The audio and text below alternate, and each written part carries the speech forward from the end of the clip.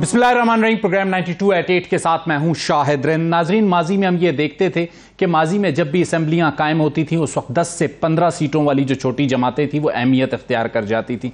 लेकिन 2018 में हमने ये देखा कि जब पाकिस्तान तहरीक इंसाफ की हुकूमत कायम हो रही थी तो चार सीटों वाली बलुस्तान नेशनल पार्टी, यानी सरदार अख्तर मेंगल की जमात अहमियत अख्तियार कर गई।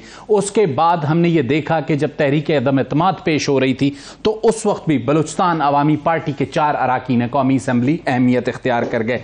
क्या सियासी जमातें जहाँ पर पार्लिमान अपनी मुद्दत पूरी कर रही है, गुजशत दो से तीन अदवार से, सियासी जमातों को बजाय ग्रो करने के सुकड़ना चाहिए, और अगर सियासी जमातें सुकड़ रही हैं तो इसकी बुनियादी ज़िम्मेदारी क्या सियासी जमातों पर आयद होती है पोलिटिकल लीडर्स पर आयद होती है, या फिर इसके मसाइल कुछ और हैं? लेकिन इन दिनों में हमने ये देखा है कि बलुस्तान अवामी पार्टी, जिसके वजूद के हवाले से बहुत से सवालिया निशान लगते हुए नज़र आते थे, और हमने ये देखा कि आज से चंद माह कबल चार अरकान सूबाई असम्बली बलुस्तान अवामी पार्टी को छोड़कर पाकिस्तान पीपल्स पार्टी की तरफ़ गए, जिनमें जहूर बुलेदी, आरिफ जान, मोहम्मद हसनी और सलीम खोसा समेत दीगर शामिल थे। लेकिन अब हम ये देख रहे हैं कि बहुत से बलुस्तान अवामी पार्टी के अरकान के पाकिस्तान मुस्लिम लीग नून से भी रबते हैं और उनकी यह कोशिश है कि मियाँ नवाज़ शरीफ की वापसी के बाद वो पाकिस्तान मुस्लिम लीग नून में जाएँ। लेकिन एक ऐसे ही वक्त में हमने ये देखा कि इस्लामाबाद में सबक वजी अला बलुस्तान और बलुस्तान अवामी पार्टी के सदर कुदूस बिजंजो फाल हुए और न सिर्फ़ फाल हुए, बल्कि फाल होने के बाद उन्होंने जमात को भी फाल बनाने का फैसला किया और एक अहम ज़िम्मेदारी जो होती है, पार्टी तर्जुमान की होती है और उन्होंने उसके लिए इंतखब किया। सेनेटर कौदा बाबर बलोच का, जो कि इंडिपेंडेंट हैसियत से सेनेटर आए थे और एक इंडिपेंडेंट ग्रुप को भी लीड करते थे, लेकिन बाद में उन्होंने अपनी एफिलेशन को बीएपी के साथ रखा। कौदा बाबर आज हमारे साथ कमिटेड थे वीडियो लिंक पर, लेकिन due to some technical reasons वो अभी जिसे कहते हैं वीडियो लिंक पर नहीं, लेकिन टेलीफोन लाइन पर हमारे साथ मौजूद हैं। सबसे पहले बाबर आपको खुश आमदीद कहूँगा और जिस जमात के वजूद के हवाले से बहुत से सवालिया निशान थे। उस जमात के तर्जुमान की ज़िम्मेदारी कबूल करना कितना मुश्किल फैसला था आपके लिए? साहब बहुत बहुत शुक्रिया आपका। और मुझे बड़ी खुशी हो रही है मैं आपके प्रोग्राम में आया हूँ और आपको प्रोग्राम में देखने के बाद भी आपकी बात सुन रहा हूँ अभी देखूँगा भी तो और ज़्यादा खुशी होगी। थैंक यू लेकिन बाप पार्टी आ, आपको बलुस्तान अवामी पार्टी की बात करें हम्म। मेरे लिए मुश्किल फैसला उस वक्त होता कि अगर मैं उनसे वाकिफ नहीं होता वहाँ लोगों को नहीं जानता हम्म। और मुझे पता नहीं होता कि हम लोग किस तरह के माशरे से किस तरह की सोसाइटी से सियासत शुरू करके आए हैं हम्म। और हमारी बाप पार्टी बना कैसे है हम्म। तो आपको अगर याद होगा हम्म। शुरू शुरू में हमारे जितने दोस्त थे आप अभी शुरू में बात ही कर रहे थे कि सुकड़ रही हैं पार्टियाँ या बढ़ रही हैं ये उन किसकी ज़िम्मेदारी होती है? बलूचिस्तान में हमने जब ज़रूरत समझी इस बात की कि हमारे जो दोस्त हैं हमारे जो लोग हैं हम पॉलिटिक्स करते हैं कौमी सियासत करते हैं और कौमी जमातों में जब हम जाते हैं तो हमारी इतनी से नहीं होती। वो तो आपको अभी इस्लामाबाद में जाते हुए हमें भी इस चीज़ का आइडिया हो गया है कि इतनी से नहीं होती। क्यों ना हम तमाम हम ख्याल दोस्त जितने भी थे उन्होंने ये फैसला किया तब तब हम सेनेटर बन चुके थे। आप इंडिपेंडेंट हैसियत में उस वक्त सेनेटर बने। Exactly, तब हम सेनेटर बन चुके थे। हम्म। तो तब हम लोगों ने ये फैसला किया कि क्यों ना एक ऐसी पॉलिटिकल पार्टी बनाई जाए हम्म। जो बलूचिस्तान की तर्जुमानी करे। जिसमें हम काई काफ़ी हद तक कामयाब भी हुए अब जैसा भी समझें कुछ दोस्त वाकई में छोड़ के गए जो आप बता रहे थे।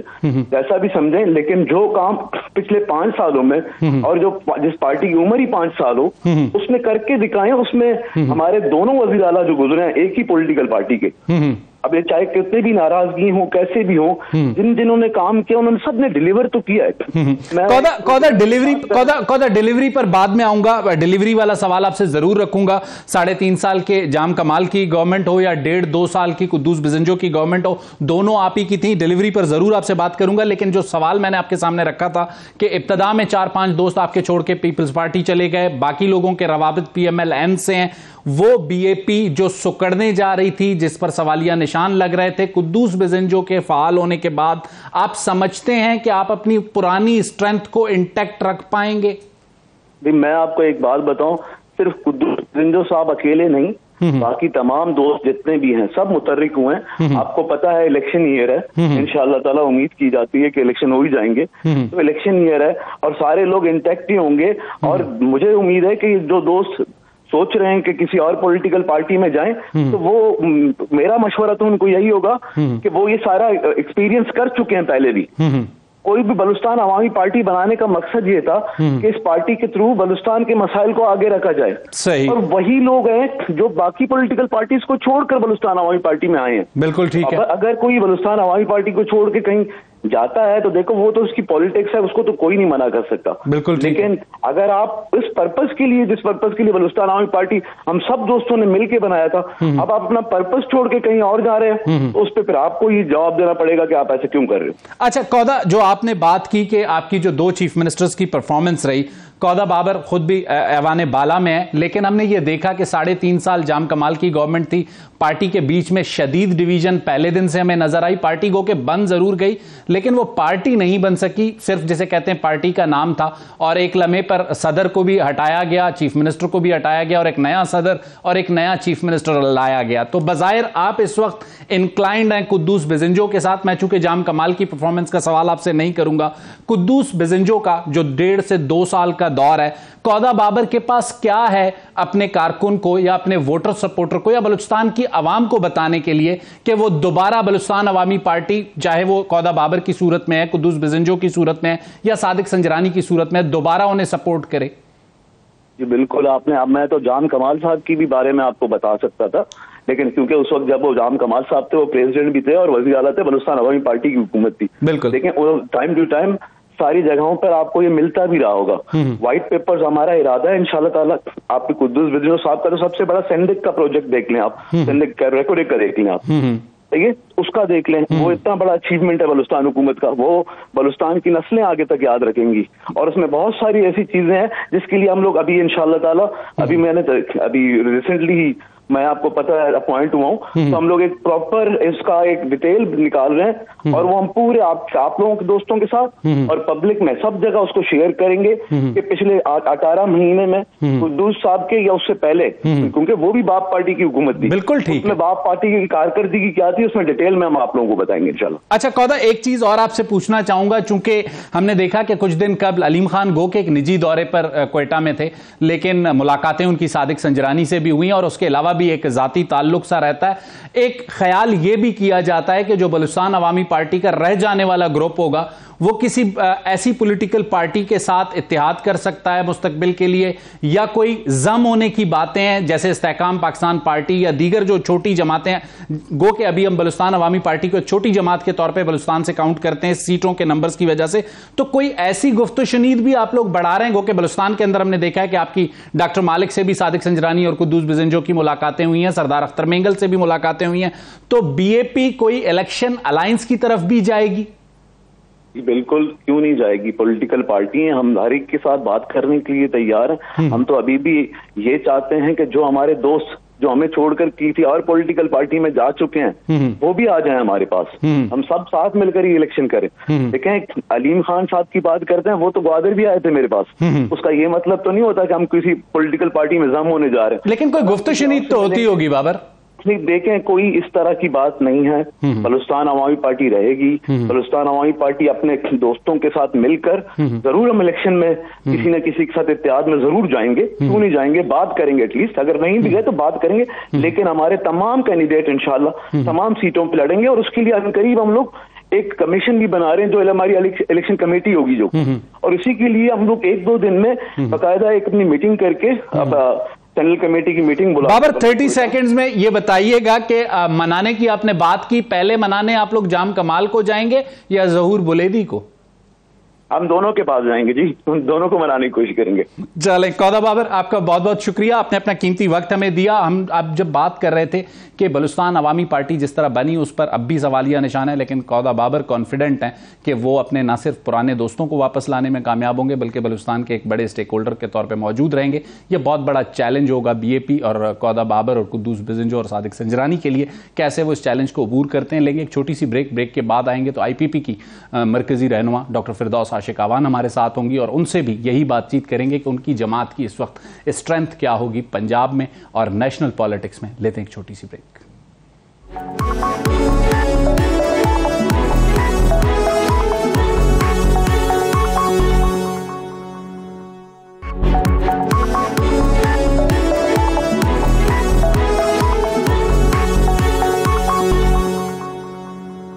Welcome back नाजरीन। ब्रेक पर जाने से पहले हम बलुस्तान अवामी पार्टी के मरकजी तर्जुमान कौदा बाबर से बात कर रहे थे। ब्रेक के बाद प्रोग्राम के दूसरे सेगमेंट में हमारे साथ हैं आईपीपी की मरकजी तर्जुमान और मरकजी रहनुमा डॉक्टर फिरदौस आशिक अमान साहबा। डॉक्टर साहब, आपको प्रोग्राम में खुश आमदीद कहता हूँ। सबसे पहला सवाल आपके सामने रखना चाहूँगा। प्रैक्टिस एंड प्रोसीजर बिल का जो फैसला आया, बाज़ाहिर ये कहा जा रहा था कि वो जो कानून साजी की गई थी, उसमें मियाँ नवाज़ शरीफ को एक फ़ायदा मिल सकता था, जो कि नहीं मिला।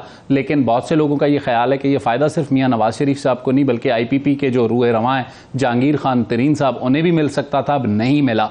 तो आपको नहीं लगता कि आपकी जो इनिशियल मूव है और उसमें जब रूए रवा को जिस अदालती रिलीफ की ज़रूरत है, वो नहीं मिला तो कुछ धचका लगेगा आपकी मूवमेंट को?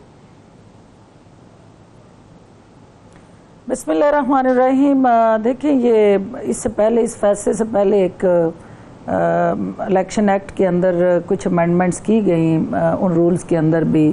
और ताहयात नाहली को पाँच साल की नाहली में बदला गया। और उसी बुनियाद पे जो आपकी आ, हम फोर्स ही कर रहे हैं या एक पाँच साल की जो दोनों की नाहली है मियाँ साहब की या जहांगीर तरीन साहब की वो डेफिनेटली इंडिकेट करती है कि उनको कानून के तहत इलेक्शन लड़ने की जो कदगन थी वो हटा दी गई है।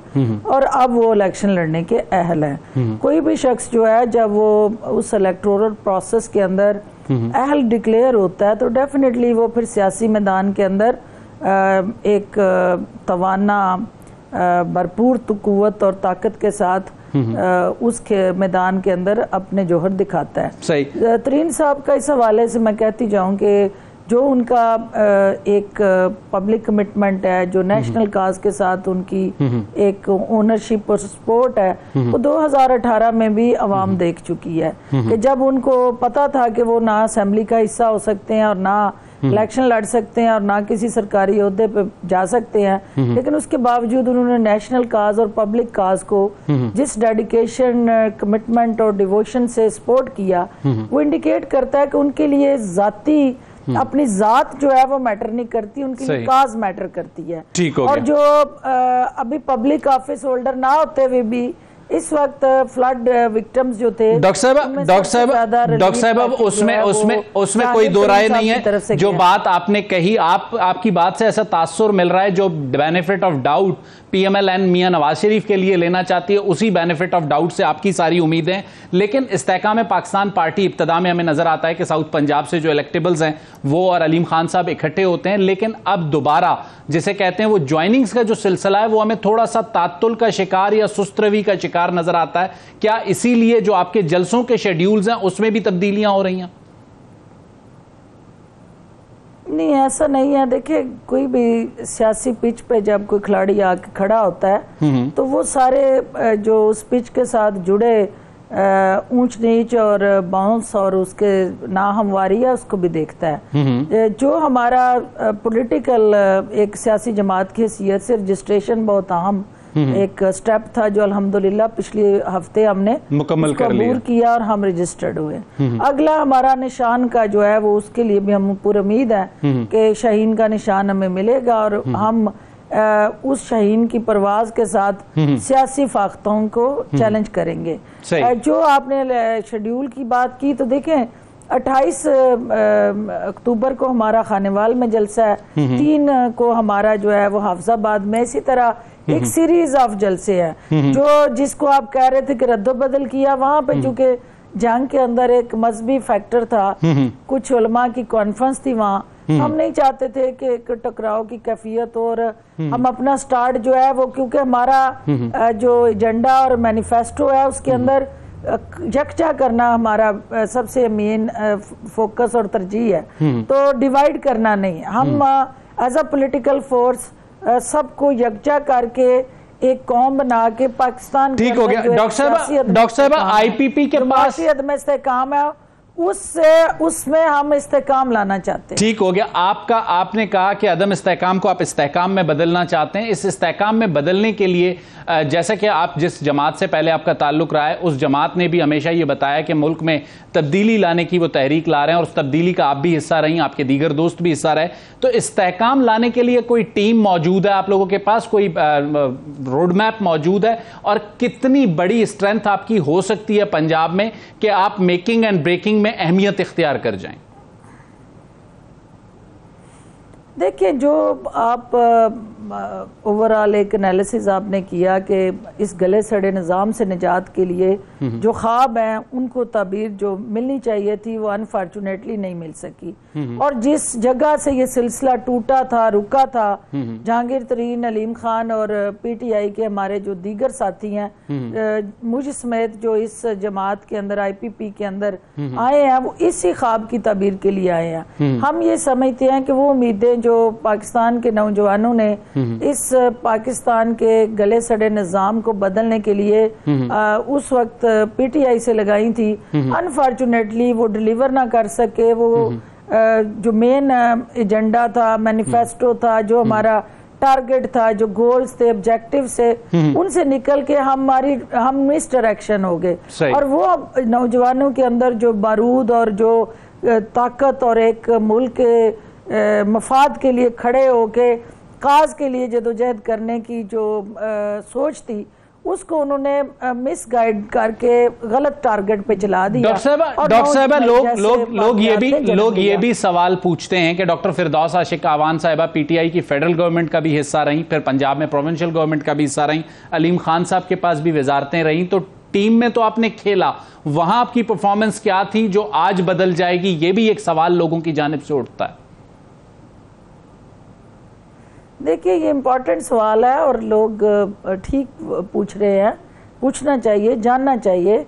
आ, हमेशा जो टीम का कैप्टन होता है वो फील्डिंग सेट करता है। हम्म, हम्म। वो पॉलिसीज़ बनाता है और हम्म, वो ड्रेसिंग रूम के अंदर आ, अपनी एक स्ट्रेटजी और हिकमत अमली देता है। और अगर टीम का कैप्टन जो है वो अपने टारगेट अचीव करने की बजाय कंप्रोमाइजेज और ख़ास तौर पे अपने वो अहदाफ चेंज कर ले और मोर्चे चेंज कर ले और जहाँ पे जिस मैंडेट के तहत उसको लाया गया हो तो फिर वो खिलाड़ी जो उसके साथ आए थे वो तो किसी और काम के लिए आए थे ना। हम इस मुल्क को बदलने आए थे इसके अंदर रिफॉर्म्स लाने आए थे।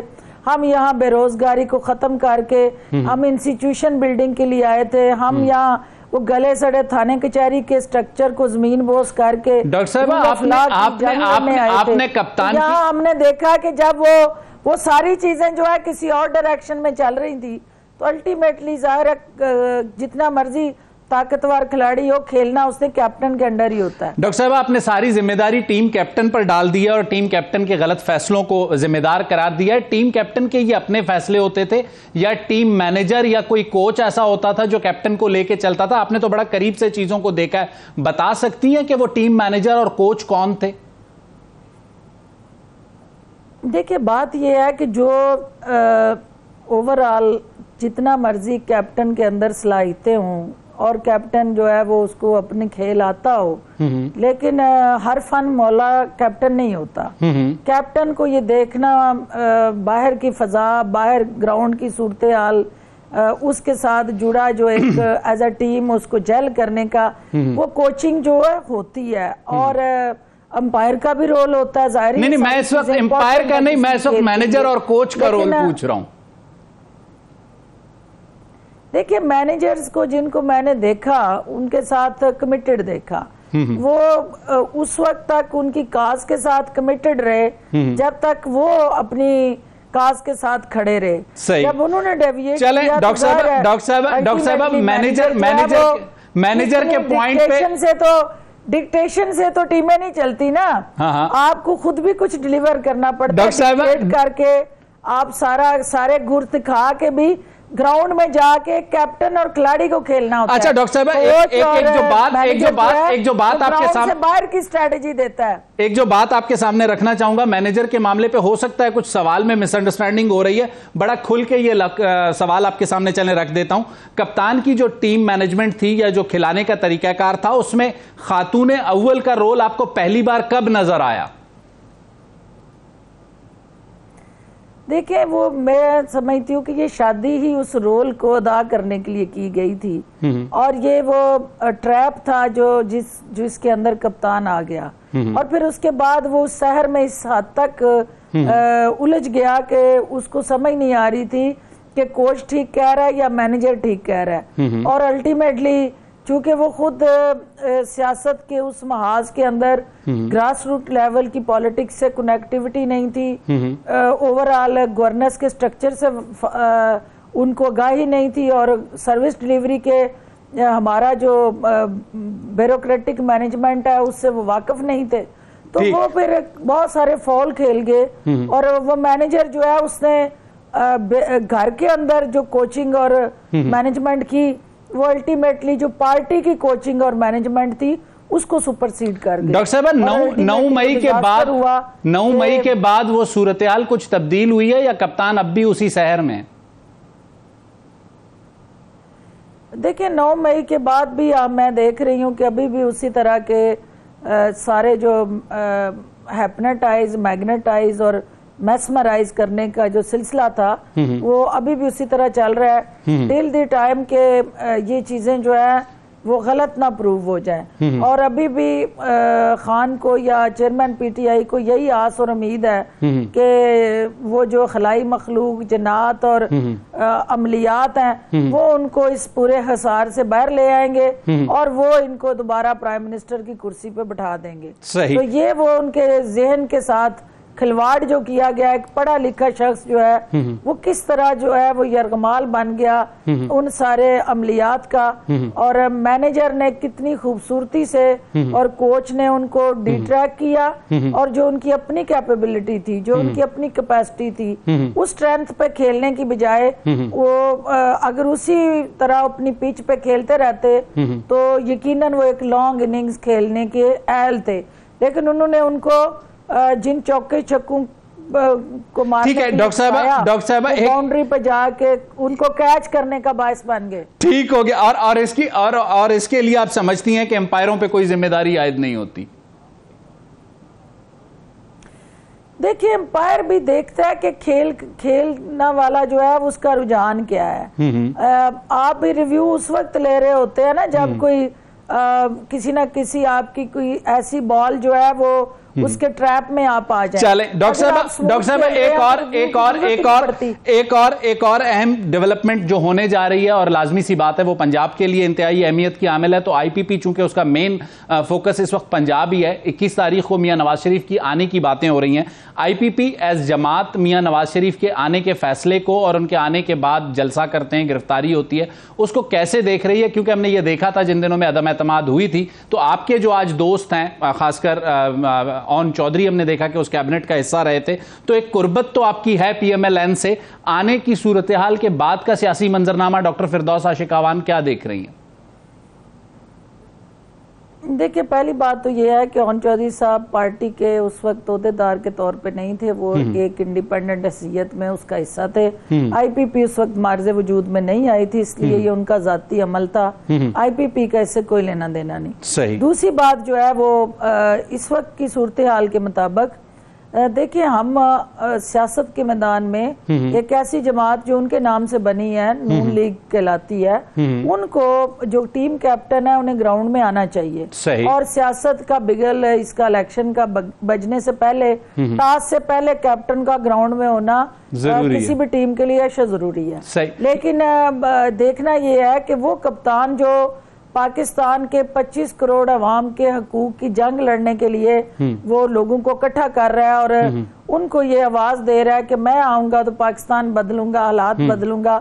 सबसे पहले वो अपने आप को बदलें और सबसे पहले वो अपने ऊपर उस कानून का इतलाक करें। वो इस कानून के कैदी हैं। इस वक्त जो है वो पाकिस्तान की अदालतों के वो मुजरिम है। सजा याफ्ता है। वो सबसे पहले अदालती निज़ाम के अंदर आके अपने आप को उस सजा के हवाले से मोतली या उसकी अख्ताम के बाद वो यकीनन अपने जलसे भी करें सियासी अमल का हिस्सा भी बने। टिल द टाइम कोर्ट जो है उनको अलाउ नहीं करती। उनको इस तरह के दिल पिशोरी प्रोग्रामों से अपने आप को बाज रखना चाहिए। क्योंकि इससे उनकी सियासी जो कद है वो कम होगा। क्योंकि लोगों के अंदर ये पैगाम जाएगा कि ये जो खुद ताकतवर बन के सही। आपके ख्याल में आप उन्हें आप उन्हें आईपीपी की तरफ़ से डॉक्टर करना चाहते हैं तो वो उनके फ़ायदे में नहीं होगा। डॉक्टर साहबा आपकी तजवीज आईपीपी की तरफ़ से मियाँ नवाज़ शरीफ या नून लीग की क्यादत को यह है कि वो जैसे ही लैंड करते हैं वो लॉ ऑफ़ लैंड के सामने सरेंडर करें अपनी गिरफ्तारी पेश करें अगर अदालत जमानत देती है तो ज़रूर जाके जलसा कर लें लेकिन अगर नहीं देती तो फिर उन्हें सरेंडर करना चाहिए आपके ख्याल में?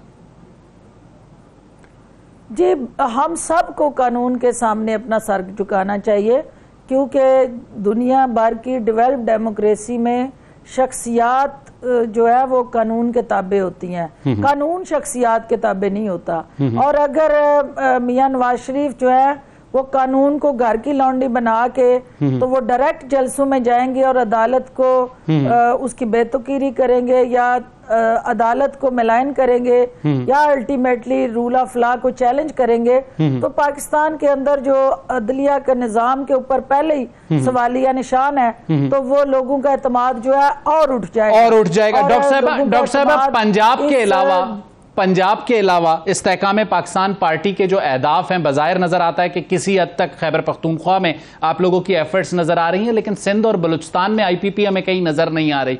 तो सिर्फ़ फोकस पंजाब और के पी के ही होगा आईपीपी का?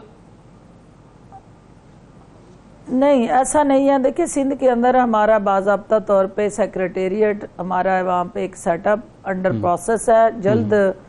चेयरमैन और हमारे सदर जो हैं वो वहाँ जाके बाबा तौर पे सेक्रेटेरिएट का भी अफ्ताह करेंगे और वर्कर्स कन्वेंशन भी करेंगे और वहाँ हमारी जो मुख्तलिफ़ सियासी जमातों के साथ एक बातचीत का अमल है इन जल्द जो है हम उसका आगाज़ करने जा रहे हैं। और हम पाकिस्तान के अंदर जो सियासी लैंडस्केप के ऊपर दीगर जमातें पहले से खेल रही हैं इस सियासी हम्म। मंजरनामे पे। हम्म। हम ये नहीं कहते कि हम सबको चैलेंज करेंगे हम्म। लेकिन जो उन सियासी जमातों का रोल जहाँ जहाँ है और वहाँ पे हम अपना रोल कैसे एस्टेब्लिश करें हम इस पे काम कर रहे हैं। और इनशाला इसमें हम पूरे पाकिस्तान के अंदर चारों सूबे में और गिलगित बल्तिस्तान एजेके के अंदर हम आईपीपी को एक ऐसी जमात जो स्टेटस को के खिलाफ हो जो रिफॉर्म्स के साथ जुड़ा मैनिफेस्टो और अवाम के हकूक की अलम्बरदार बन के डॉक्टर साहबा की तर्जमा डॉक्टर साहबा आपने कहा तमाम सियासी जमातों से बातचीत होगी। अमल नज़र आएगी। आपने कहा तमाम सियासी जमातों से बातचीत होगी इलेक्शन कमीशन की लिस्ट पर अगर पाकिस्तान तहरीक इंसाफ मौजूद हुई और इंतबात में बल्ले का निशान भी हुआ तो आईपीपी क्या उनसे भी बातचीत करेगी? देखिए ये तो उस वक्त होगा जब वो नौ मई के वाकयात से अपने आप को क्लियर करवा के क्योंकि सियासी जमात जो है वो जत्थे या मलेशिया का रूप धार के तो फौजी तनसीबात पे हमलावर नहीं होती।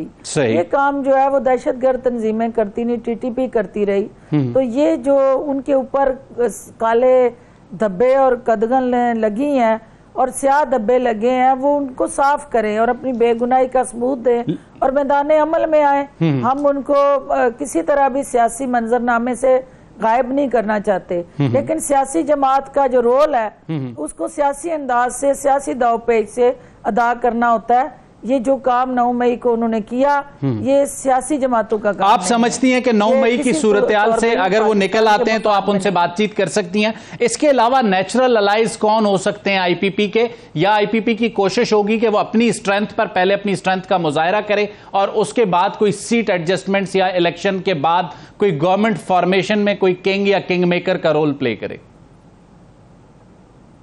देखिए सियासत के अंदर हरीफ और हलीफ तो बदलते रहते हैं।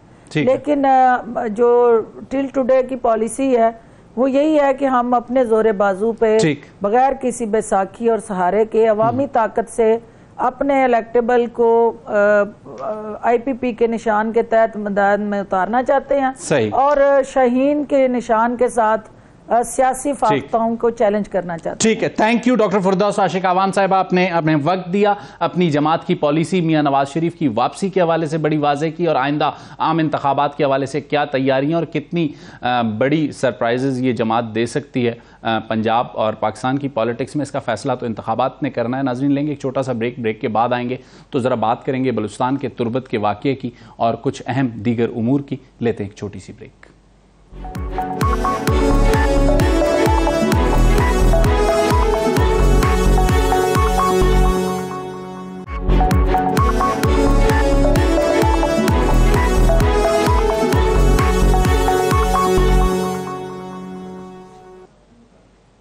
वेलकम बैक नाजरीन प्रोग्राम के आखिरी हिस्से में बात करेंगे। तुरबत के दो वाक़ात हमारे सामने। हमने देखा कि तुरबत में दो रोज़ कबल तकरीबन छः मज़दूरों को कत्ल किया गया। आज उनकी मैतें मुल्तान पहुँचा दी गई हैं। तुरबत से पहले मैतों को मुंतकिल किया गया कोयटा जहाँ पर उन्हें रिसीव किया निगरान वजी अला बलुस्तान अली मरदान खान डोमकी ने, और उन्होंने वहाँ पर जो है, ब्रीफिंग भी ली। डिप्टी कमिश्नर ने जो, किस से जो हुसैन जान है, उसके अलावा वजी अला ने वहाँ गुफ्तु करते हुए ये कहा कि बेगुना मजदूरों के कत्ल पर बलुचिस्तान का हर फर्द रंजीदा है। सोगवार ख़ानदानों के दुख में बराबर के शरीक हैं। और उसके बाद वज़ी अला ने ब्रीफिंग लेने के बाद इन डेथ बॉडीज़ को बायर रवाना किया मुल्तान के लिए, जो वहाँ पहुँच चुकी हैं, और उनकी तदफीन का अमल मुकम्मल होगा। लेकिन इसके साथ साथ एक अहम इंटेलिजेंस बेस्ड ऑपरेशन भी हुआ तुरबत के ही इलाके में, और केच डिस्ट्रिक्ट में, तुरबत चूँकि उसका डिस्ट्रिक्ट हेडकोार्टर है, एक सौ इकतीस अफराद के कत्ल में मुलविस, जो कलदम तंजीम का अहम सरगना है, सद्दाम हुसैन मुस्लिम, और उनका एक साथी हलाक हुआ, और बड़े अहम, जिसे कहते हैं, कार्रवाइयों में ये शामिल रहे हैं। दहशतगर्द सद्दाम हुसैन मुस्लिम गुरु और जब्बार जैसे नामों से भी जाने जाते थे और उनके साथ एक और भी दहशतगर्द था जो कि इंटेलिजेंस बेस्ड ऑपरेशन में मारा गया। दहशतगर्द सद्दाम 2016 से साउथ बलूचिस्तान में दहशतगर्दी की तिरानवे वारदातों में मुलविस रहा। दहशतगर्द सद्दाम ग्रैंड ग्रनेड हमलों, बारूदी सुरंगों के हमलों और टारगेट किलिंग में मुलविस रहा और इन हमलों में एक सौ इकतीस के करीब मासूम लोगों की जाने गई, जबकि एक के करीब लोग जख्मी हुए। इस सारी सूरत हाल पर, तुरबत के वाक़े पर और एक अहम इंटेलिजेंस बेस्ड ऑपरेशन पर गुफ्तु करने के लिए हमारे साथ जो मेहमान शरीक गुफ्तु होंगे, ब्रिगेडियर रिटायर्ड बाबर अलाउद्दीन साहब हैं सिक्योरिटी एनालिस्ट हैं और बलुस्तान से सीनियर सहाफ़ी शहजादा जुल्फ़ार साहब और अब्दुल खालिक रिम साहब हमारे साथ होंगे। चाहूँगा कि ब्रिगेडियर अलाउद्दीन साहब से गुफ्तु का आगाज़ करूँ और इंटेलिजेंस बेस्ड ऑपरेशन और उसकी अहमियत पर उनसे बात करूँ। ब्रिगेडियर साहब, आपके ख्याल में कितनी अहमियत का हामिल है ये जो इंटेलिजेंस बेस्ड ऑपरेशन है, जो कि केच में किया गया? जी इंटेलिजेंस बेस्ड ऑपरेशन जो होते हैं हमेशा बहुत अहमियत के हामिल होते हैं। क्योंकि हमेशा इस तरह के टारगेट्स के अगेंस्ट किए जाते हैं। जो कि जिनकी बहुत इंपॉर्टेंस होती है जो उनके इस तरह के ऑपरेशन लोकल लेवल कमांडर होते हैं ज़ाहिर है इन लेवल कमांडर्स की अहमियत बहुत ज़्यादा होती है लोगों को मोटिवेट करते हैं गाइड करते हैं लीड करते हैं उनके गिर्द तमाम लोकल कार्डर्स जो है ना देर वॉल अराउंड देम और जैसे आपने सद्दाम हुसैन की हिस्ट्री भी बताई ये खुद बहुत सारी इस तरह की वारदातों में बर रास्त मुलविस भी था। हम्म। तो ज़ाहिर जब एक दूसरा दूसरे के बाद तीसरा हम्म। तो इनके जो लोग हैं मोटिवेशन पकड़ते हैं इस तरह के लोकल हम्म। कमांडर से। तो इन्हीं इस तरह टारगेट से अगेंस्ट इंटेलिजेंस बेस्ड ऑपरेशन किए जाते हैं। ये ऑपरेशन कामयाब रहा। इसमें सदाम हुसैन मारा गया।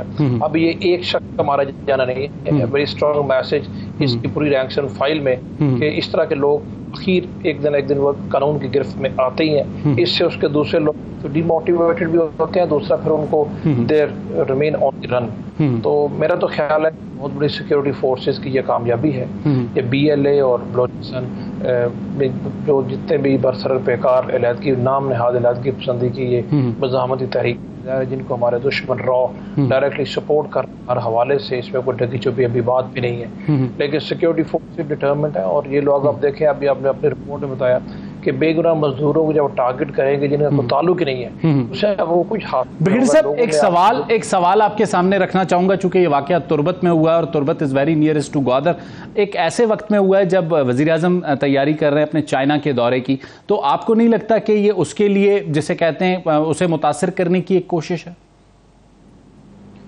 ये ज़ाहिर है होता यह है कि ग्वादर के अराउंडिंग सराउंडिंग एरियाज़ में हम्म। इस तरह की एक्टिविटीज़ करना कार्रवाइयाँ करना एक किस्म का आप कह सकते हैं कि चाइनीज़ को या तमाम जो फॉरेन इन्वेस्टर जो वहाँ पर इन्वेस्टमेंट कर रहे हैं करने का इरादा रखते हैं उनको नेगेटिव मैसेज लेकिन उन लोगों को भी पता है। चाइना को इन चीज़ों का बहुत तरीके से पता है। चाइना इन बातों से इस तरह की हरकतों से पहले भी कभी भी नहीं उन्होंने घबराना दूर बात है। उनकी डिटर्मिनेशन कमी नहीं है बिकॉज़ उनको पता है कि इसके पीछे है कौन इस चीज़ का पर्पज क्या है।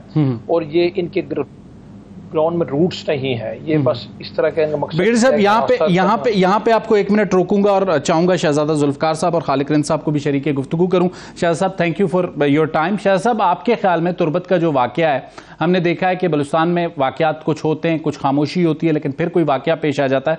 तुरबत के वाक़े को आप कोयटा से बलुस्तान से बैठ के कैसे देख रहे हैं? देखिए सबसे पहले तो मैं ये वाक़ात पहले भी होते रहे हैं और उसके बाद सिक्योरिटी हमारे अदारे पुलिस एडमिनिस्ट्रेशन बहुत अलर्ट रही है हम्म। मुझे ये हैरत है कि ये कब आए हम्म। क्यों डिप्टी कमिश्नर साहब को नहीं पता था असिस्टेंट सर कमिश्नर पुलिस को क्यों नहीं पता था हम्म। और जो शख्स इनको लेके आया वो कॉन्ट्रैक्टर अपने घर में उन्होंने ठहराया उसको भी पकड़ा जाना चाहिए कि तुमने इतला क्यों नहीं दी? मुतलिका थाने को इतला दे देते कम से कम एक थोड़ी उसकी सिक्योरिटी हो जाती है। आज मैं समझता हूँ उनकी सिक्योरिटी होती इस तरह दहशतगर्द जो है वो इस तरह घुस के उनको मारने मारते नहीं। और ये ये पहला काम। दूसरा ये है कि कंडेमेबल अमल है ज़ाहिर है। और वज़ीर आला ने जिस तरह कहा जिस तरह सरफराज बुकटी ने कहा जिस तरह आपके निगरान वज़ीर सूबाई वज़ीर आपके होम के जो मिनिस्टर हैं। जुबैर जमाली साहब उन्होंने। कहा सब सब इसको कंडेम कर रहे हैं कि कुनियते लोग बेचारे उनको दो चार पाँच सौ रुपए ज़्यादा मिल रहे होंगे वो मुल्तान कोई शुजाबाद कोई खा, खानेवाल से आकर इधर वो बेचारा इधर आके मजदूरी करता है उसके साथ इस तरह का सलूक किया जाए। मैं समझता हूँ कि ये काबिल काबिल मुजम्मत अमल है। जी। शाह साहब एक मिनट आपको यहाँ रोकूँगा चाहूँगा खालिक साहब को शरीक गुफ्तु करूँ। खालिक साहब जैसे शहजाद साहब ने कहा कि डिस्ट्रिक्ट एडमिनिस्ट्रेशन की भी कारकर्दगी पर सवालिया निशान उठते हैं। गो कि हमने देखा कि वजी अला ने आईजी को आ, उसको सॉरी आईजी कह रहा हूँ एसपी को सस्पेंड करने के भी अहकाम जारी किए। लेकिन खालिक साहब आपके ख्याल में ये जो वाक़ हुआ इसकी ज़िम्मेदारी सरीहन डिप्टी कमिश्नर या सिर्फ़ ज़िले इंतज़ामिया पर आयद होती है? बहुत शुक्रिया शाहजरीन साहब। देखें ये एक यकीनी तौर पर बड़ा एक वाक़ है जिसकी हमने पहली मरतबा देखी कि हमेशा ऐसे वाक़ात की हुकूमती शख्सियात और वजरा की तरफ़ से तनकी शदीद मजम्मत आती है लेकिन इस मरतबा इस वाक़े का हमने देखा कि हुकूमत से हटकर भी अहम शख्सियात की जानब से इसकी हम्म। शदीद मजम्मत आ रही है। हम्म। देखें जहाँ तक इसकी ज़िम्मेदारी का ताल्लुक है तो हम्म। पंजाब से आप जानते हैं कि एक बलुस्तान का बहुत ही दूर दराज इलाका है। जहाँ तक ये मजदूर वहाँ पे गए थे और काम कर रहे थे। यकीनी तौर पर इनके तहफ़ के लिए कोई ऐसे फुल प्रूफ सिक्योरिटी के इकदाम होने चाहिए थे। इनको वहाँ पे तहफ़ फराम किया जाना था कि जब वहाँ पे वो काम कर रहे हैं और ऐसे हालात में कि जबकि इस किस्म के वाकत बलुस्तान में से पेशतर भी पेश आते रहे। उसके हम्म। बाद अगर इतनी दूर मजदूरों को वहाँ पे ले जाना और उसके बावत हम्म। उनकी हिफाजत के इंतज़ाम न करना यकीन तौर पर एक सवाल यह निशान है। हम्म। और ज़रूरत इस बात की है कि आइंदा इस किस्म के जो इतनी दूर दराज इलाकों में ये मेहनत कश मजदूर जो वहाँ काम करने जाते हैं उनके लिए उनकी हिफाजत के लिए ऐसे इकदाम हों कि जिससे इस किस्म के आइंदा नाखुशगवार वाकत रूनमा न हो। अब इसके जिम्मेदार कौन है? इसका यकीनी तौर पर सूबाई हुकूमत को तहकीकत करनी चाहिए और लिए बिल्कुल एक तहकीकती टीम बननी चाहिए जो हम्म। इसके न सिर्फ़ रूट काजेज को देखे जिम्मेदारों को तयन करे हम्म। और मुस्तबिल में ऐसे किसी भी वाक़ से बचने के लिए हम्म। कोई ऐसे इकदाम करे ताकि ऐसे वाक़ दोबारा रूनमा ना हो सही शहजाद साहब जो बात खालिक साहब ने की कि इन्वेस्टिगेशन होनी चाहिए वाकत हम देखते हैं होते हैं और इन्वेस्टिगेशन भी टीम्स भी बनती हैं लेकिन उनकी रिपोर्ट्स ना आने का हमें पता चलता है ना कुछ उस पर अमल दरामद होने का पता चलता है लेकिन एक जो दिलचस्प चीज़ मुझे महसूस हुई मैं चाहूँगा कि आप सब आपके सामने ये सवाल रखूँ खालिक साहब ने बहुत अच्छी निशानदेही की कि न सिर्फ़ हुकूमत ने मजम्मत की, सियासी जमातों की जानब से भी उसकी मजम्मत आई। लेकिन एक चीज़ जो हमें देखने में आई, जो एक पोलिटिकल पार्टीज़ के दौर में भी किसी हद तक बलुस्तान में ये क्रिटिसिज्म होता था कि इंटीरियर या इंफॉर्मेशन मिनिस्टर जो हैं, उनकी परफॉर्मेंस उतनी बेहतर नहीं है। क्या ये बेहतर नहीं होता कि जैसे ही वाक़ हुआ था, उसी वक्त निगरान वज़ीर दाखिला और निगरान वज़ीर तलात तुरबत जाते और वो उस तरह से प्रियमटिव हमें नज़र नहीं आए, उनके एक्शन जिस तरीके से हमने देखा कि वाक़े के बाद वफाकी वज़ीर दाखिला ने रिस्पॉन्ड किया सरफराज बुकटी ने इस्लामाबाद से, यही रिस्पॉन्स अगर कोयटा से आता तो बेहतर ना होता। नहीं जी, बिल्कुल, शायद मेरे जो इलम में है, वज़ीर अला साहब और आपके निगरान वज़ीर अला साहब, मीर अली मरदान डोमकी और जुबैर जमाली हम्म। होम मिनिस्टर ये हम्म। जाना चाह रहे थे ये हम्म। गए उधर एन वक्त पर इनको बताया गया कि वो डेड बॉडी आप वहाँ से मंगवा लें यहाँ उनको रिसीव करके ले जाएँ। देखिए उनके जाने से कोई फ़र्क नहीं पड़ता। असल तो बात अब अब शुरू हुई है कि वो जरा कमिश्नर से पूछें डीआईजी से पूछें। अच्छा फिर डीआईजी और सब कुछ जिम्मेदार नहीं होता लेकिन थाने का एसएचओ तो जिम्मेदार होता है ना। अच्छा डीएसपी एसपी और उसके बाद मैं कहता हूँ वो ठेकेदार से जरा पूछा जाए और क्या इंतजामिया ने कोई नोटिस सबको दिया था कि भाई आप जाके बाहर से लोग लेके आते हैं बहुत अच्छी बात है लेकिन हमें तो बताया करें कि हम कम अज कम उनको हमारा सर्विलेंस रहे कि आते जाते उस घर की हम हिफाजत करते रहे पुलिस पेट्रो, पेट्रोलिंग करती रहे रात को दिन में। क्या उस ठेकेदार ने जो है क्या गवर्नमेंट ने पहले किसी को नोटिस दिया? अवाम नास के लिए ये बात की। और ठेकेदार ने जो है उनको लाने से पहले जो है वहाँ जाके थाने में इतला दी कि भाई ये हमारी हमारी मालूमात के मुताबिक जो ठेकेदार है उसका अपना ताल्लुक भी पंजाब से है। लेकिन ज़रूरी है कि वो जहाँ पर काम कर रहे होंगे कोई चाहे वो सरकारी बिल्डिंग हो या कोई प्राइवेट काम हो रहा हो वो किसी मकामी शख्स के लिए कोई घर बन रहा होगा कोई दफ्तर बन रहा होगा जहाँ पर वो मेहनत मजदूरी कर रहे होंगे। और ये पॉइंट आपका अपनी जगह पर वैलिड है। चाहूँगा कि ब्रिगेडियर साहब के सामने ये चीज़ रखूँ, चूँकि उन्होंने फ़ील्ड में सर्व किया हुआ ब्रिगेडियर साहब, आपके ख्याल में शहजाद साहब की बात कितनी अहमियत की हामिल है कि जब जिन हालात में वहाँ पर अगर मजदूर काम कर रहे हैं डिस्ट्रिक्ट एडमिनिस्ट्रेशन या पुलिस को, इसकी इतला जिसे कहते हैं, दी जाती और उनके पास इतला मौजूद होती तो कोई ऐसा अरेंजमेंट किया जा सकता था? क्योंकि जो वाक्य हुआ है, वो तुरबत शहर के अंदर हुआ है, किसी फारफलंग एरिया में नहीं हुआ।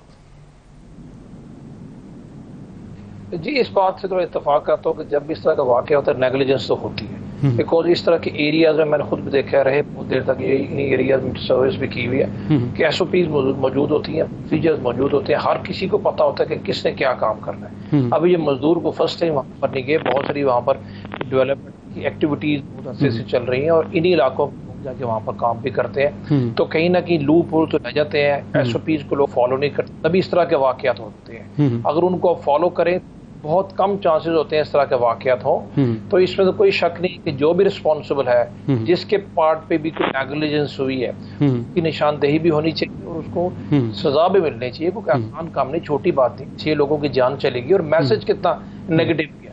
अभी वहाँ पर ऑलरेडी बात इस तरह की है। इसका एक्सटर्नल मैसेज भी नेगेटिव गया इसका इंटरनल मैसेज भी नेगेटिव गया। सही। क्योंकि उन इलाके में ये लोग जो काम कर रहे हैं सिक्योरिटी फोर्सेज की काफ़ी अच्छी खासी वहाँ पर तादाद मौजूद है हम्म। और वक्त यही काम करते तो हम्म। एक तहकीकत के बाद जो रिस्पॉन्सिबिलिटी तो फिक्स होनी चाहिए शाह नहीं है। शाह साहब जो ब्रिगेडियर साहब ने बात की बहुत अहमियत की हामिल है उन्होंने कहा कि रिस्पॉन्सिबिलिटी फिक्स होनी चाहिए।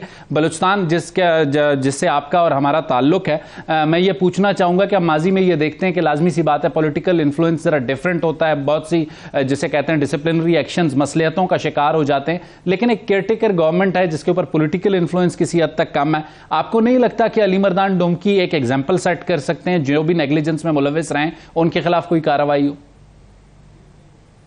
बिल्कुल देखिए वो ज़रूर करेंगे लेकिन आप अच्छी तरह जानते हैं बलूचिस्तान का दो मसला हमेशा दूसरे सूबों में भी ये डिस्कस किया जाता रहा है। हम्म। एक करप्शन का है दूसरा सर्विस डिलीवरी का है हम्म। और ये एक गवर्नेंस जो है बैड गवर्नेंस हम्म। अब हुकूमतों ने पिछली हुकूमत की हाल जो देखा ये अफसर वही थे। ये अफसर उन्हीं की सिफारिशों पर जो है आए अब क्या इनको फेंक तो नहीं सकते हैं? ज़ाहिर इनको डिस्ट्रिक्ट दिया इनको वो दिया। लेकिन लेकिन नेग्लिजेंस पर अगर कोई कार्रवाई कर ले शहजादा साहब तो एग्ज़ाम्पल तो सेट हो, हो सकती है लास्ट मिनट है हमारे पास। बिल्कुल हो सकता है बिल्कुल बिल्कुल हो सकता है। मैं यही कहता हूँ कि वो ज़रूर करें हम्म। और फिक्स करें रिस्पॉन्सिबिलिटी लेकिन इससे नहीं हम्म। इससे कुछ नहीं होता एकदम से हम्म। आप तमाम लोगों को सस्पेंड कर दे। नहीं आप इंक्वायरी करवाएँ और इम्पार्शल इंक्वायरी कराएँ और जो भी वो आता है उसको उस तरह सजा मिलनी चाहिए और मैं कहता हूँ ठेकेदार को शामिल करना चाहिए। बिल्कुल ठेकेदार जो है उसको बरी जिम्मा ना करा बिल्कुल ठीक है। शाहजुल्फकार साहब आपका ब्रिगेडियर बाबर अलाउद्दीन साहब आपका खालिकरन साहब आपका तीनों मेहमानों का बहुत बहुत शुक्रिया।